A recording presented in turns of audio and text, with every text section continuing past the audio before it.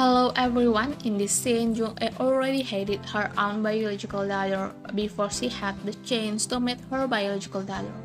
So in this scene her friend asked for a photo of Eunha and Eunhyuk. Her friend thought that Donggu might have died, so she would look for Eunha and Eunhyuk and not look for Donggu anymore.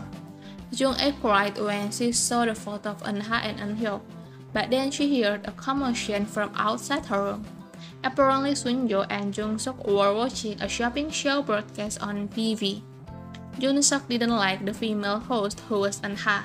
She thought Eunha was too much.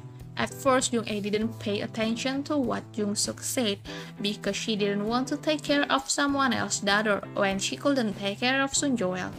But then she saw a magazine where Eunha was on the cover of the magazine. She confirmed Jung-suk's words. She said that Eunha's chin was very pointy and she was sure that Eunha was very bitchy.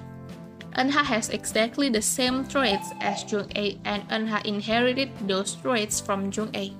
Okay everyone, that's the scene this time and thank you for watching my video.